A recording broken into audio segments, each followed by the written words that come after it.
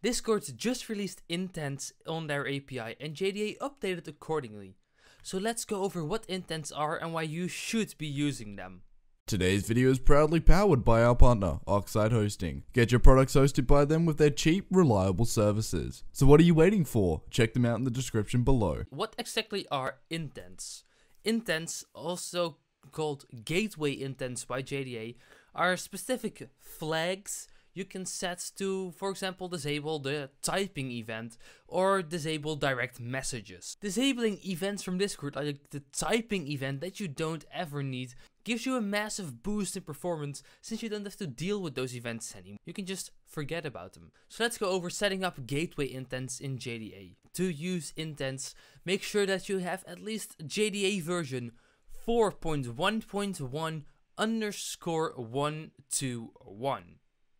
If you have any version below that version, you might not have intents. So let's go over to our build file and make sure we update the version accordingly. As you can see, I'm using Gradle for this, so we need to be using version 4.1.1 underscore 121. And let's import the changes from Gradle. Now that that is done, we can go over to our main class and you instantly see that the JDA builder is deprecated. So let's have a look why exactly it is deprecated. Looking at the JDA documentation gives us a very good explanation as to why the constructor is deprecated.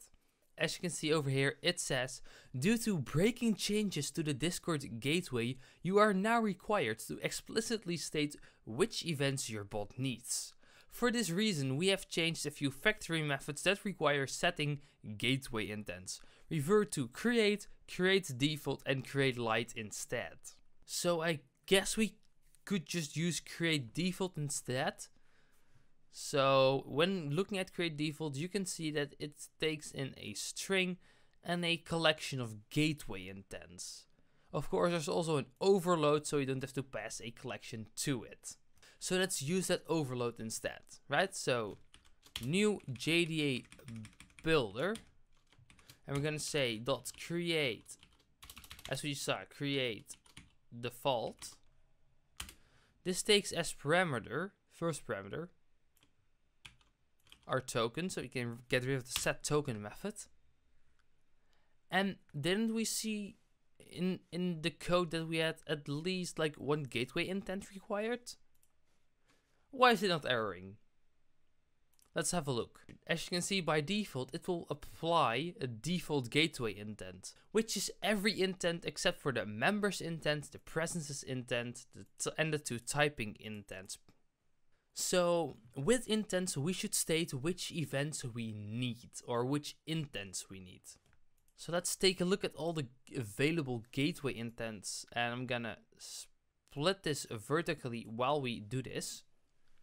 To figure out what gateway intents we need, we need to look at what events we are using. So first of all, we are using the ready event, but the ready event doesn't have a gateway intent attached to it, so we don't need to worry about that.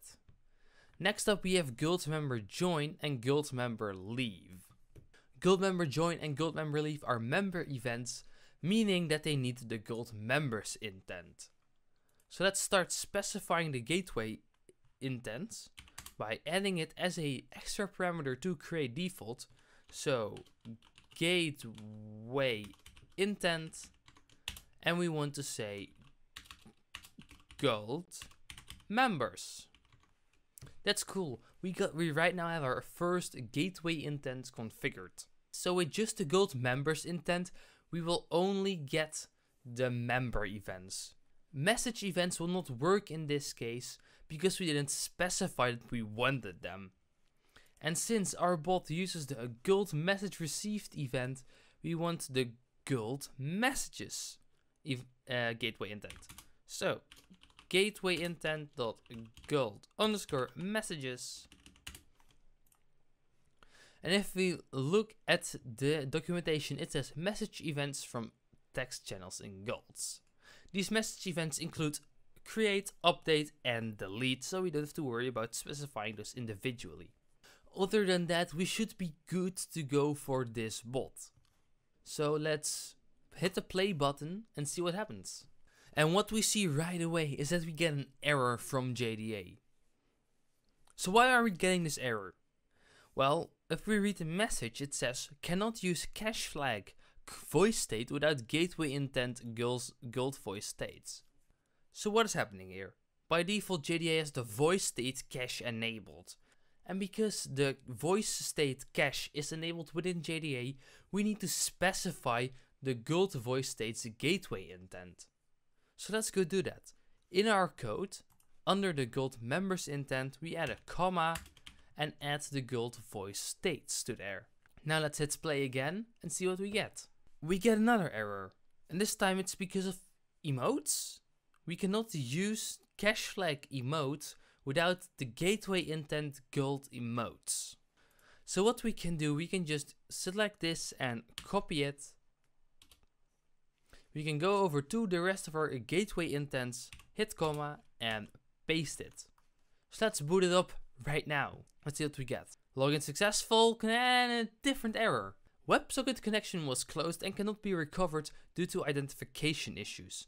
Close code 4014 disallowed intents. Your bot might not be eligible to request privileged intents such as guild presences or guild me members? What is going on here?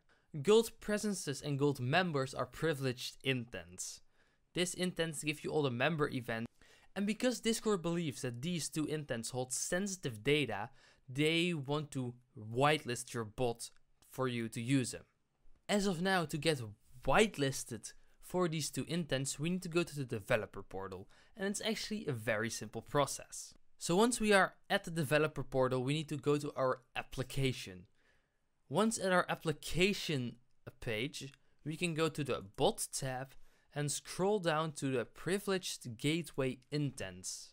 And because we don't use the presence intent listed here, we can just leave this unchecked. And we do use the server members intent, so you need to check this. But before you check it, make sure to read this note here. It is very important that you read this because as you can see, note, this may limit your bot to 100 servers in the future. Read more here. So once you have read that, you can check this switch on and hit save changes. And now we can just close the developer portal. Back in our code, we can hit the play button again. And as you can see, MenuDocs JDA is ready. So now we can just go over to Discord and type, uh, what was my prefix again? Ping? Yeah, there we go. It just works. Let's see what else can we do. The help command. There we go. It all works again. But there was this thing about the cache, wasn't there? If you take a closer look at create default, you can see this apply default method. And it sets some disabled cache flags. So let's just copy this and add this to our own code. And I'm gonna make it a bit nicer. Because we don't need guild voice states and guild emojis, we can turn those intents off. But if you have a music bot, you will need to enable the voice states cache and the guild voice states uh, gateway intent. Because without those, it will be very hard for your bot to track whether it's leaving the voice channel or joining the voice channel. And if you use Lavalink, it won't even work then. But back to the point, uh, we're gonna disable the voice states cache and emoji cache because we don't need it. Disabling this cache will also mean that we will that our bot will use less memory while running. So we so so in our code we can remove these two gateway intents.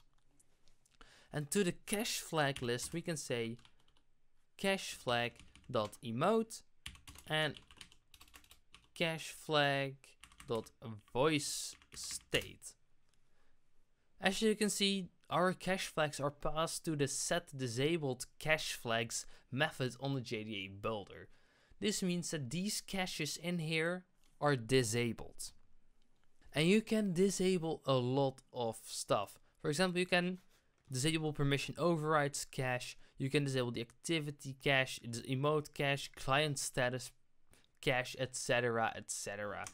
There's a lot of stuff you can disable with these caches. And if you want to disable them all, I would suggest making your bot a private bot, since especially disabling member overrides will probably result in issues. But anyway, let's boot our bot back up now that we've disabled the cache. And there we go. We're logged in and there are no errors. And our bot will still function as before. So thank you for watching this tutorial about gateway intents. If you like this new format, leave a like. Subscribe if you haven't already. And I will see you guys in the next one. Bye!